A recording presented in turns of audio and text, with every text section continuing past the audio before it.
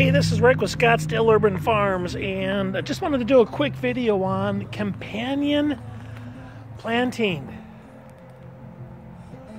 We plant beans uh, this at this time of the year uh, because beans are just a really, really great companion plant for fruit trees. And fruit trees really, really like it when beans are growing during the winter uh, months or the spring. So coming out of the winter into the spring, and we will into the summer. And then what we will do in the fall is we will plant peas as a companion uh, planting partner uh, with that. And, uh, you know, but right now we got beans. And this, this, uh, we just finished this.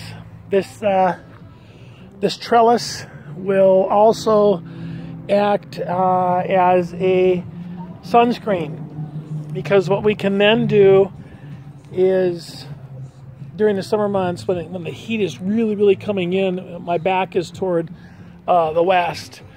So this really this this corner right here just gets really beat up and puts a lot of pressure and stress on the trees so if we need to, we can just come out here with a pre-cut uh, shade cloth. We can uh, put it up with um, clothes, clothesline clips.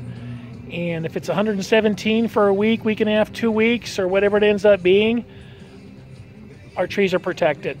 And so are the beans. That's it. Take care, everybody. This is Rick Borden with Scottsdale Urban Farms, Scottsdale, Arizona, 85254.